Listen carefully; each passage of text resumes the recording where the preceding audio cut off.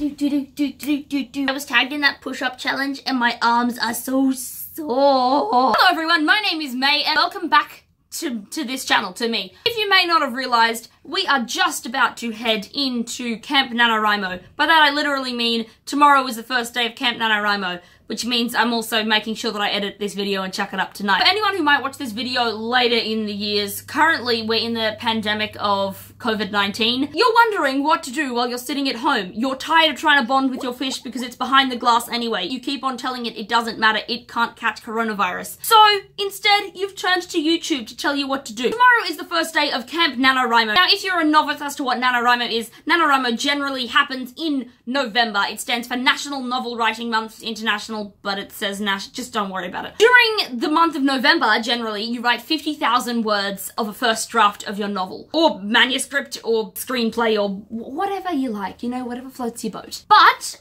during April and July, there are what are called Camp NaNoWriMos, which are legitimately absolutely perfect for what we're currently having to do, which is all sit at home and be far away from each other. The fact that the whole event of NaNoWriMo is all online based. Still, if you live in a big enough city, there are generally big NaNoWriMo meetups where everyone will come in and write together and play a few like writing games and things like that. But Camp NaNoWriMo tends to be a little bit more chill than the official November one, and therefore it's perfectly, perfectly suited to this kind of where everyone's staying at home and needing to write. So, I am doing Camp NaNoWriMo, and if you would like to join in, now is a great time. How is Camp NaNoWriMo exactly different to regular big NaNoWriMo at the end of the year? There are a few differences that I can at least see, and I could have maybe looked at an article, but I cannot be bothered. So we're just gonna go with the differences that I know.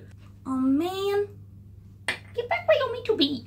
The first main difference between Camp NaNoWriMo and November NaNoWriMo being that in Camp NaNoWriMo, you don't have to write 50,000 words. You can write however many thousand words that you like. Leading on from this first fact, you don't actually have to write a first draft. You can edit something. You can just spend time working on something as opposed to word count. Uh, there are lots of different ways that you can actually base progression in a Camp NaNoWriMo as opposed to just strict word count, which November NaNoWriMo tends to strictly be based off. The final big thing that especially is different about Camp NaNoWriMo is the fact that you have cabins of people that you're slotted into, and so you're writing with actually a bunch of other people uh, in your, your online cabin. If you don't like those people, if you think they're jerks, you can leave. It doesn't matter. They'll resort you into a new cabin. But your cabin group, you can talk about your writing, what you're doing, and it's kind of a fantastic way to actually connect with other people that are writing generally very different things. So much erotica. Oh my goodness. Last year, my Camp NaNoWriMo group, I swear most of them were all like, oh yeah, I'm writing like romance, but it's kind of like smutty romance. So you're just like writing erotica. I don't know, like a smutty romance. so sometimes it's a fantastic way to grow as an understanding of what lots of people like to write. It's much easier to see what they're doing and actually connect with random other writers as opposed to just being like, um, I've tried to convince all my friends to do NaNoWriMo and nobody wants to. That's generally where I sit, trying to convince all my friends to and nobody wants to. So here you don't have to convince your friends to. You do it, you go do NaNoWriMo and you'll suddenly have a bunch of friends that are doing it as well. So now that I've convinced you to do Camp NaNoWriMo, we're now going to turn to a more personal note. What am I doing for Camp NaNoWriMo? I did Camp NaNoWriMo last year in July, and it did not go very well. I think I got like 20,000 words into my thing. The story that I'm going to be working on for April NaNoWriMo 2020 is actually a rewrite of a story that I drafted in NaNoWriMo 2019. I did hit 50k for this story, but it just it's 50k of words I can't really use. 50k of exploring the ideas. It's 50k of absolute shit. I've understood so much about whether I should be rewriting a story, which just for namesake, we're going to call it the cartographer's story. Cartographer meaning the making of maps for those who are illiterate. Wow, that sounded really bitchy. I think being cooped up inside, I've lost all people skills. I'm sorry. Continue writing the cartographer's story and rewrite it from scratch. So I'm not going to use any of the 50,000 words that I wrote uh, in the first NaNoWriMo. I might pull a few scenes and like rewrite the scenes um, use them as kind of skeletons, but I think a lot of them it's not going to be it's not going to be very useful. Because i'm a crazy person and university is all now online and i really apparently just want to be short-sighted from looking at a screen all day I've decided that i'm going to kind of split my time between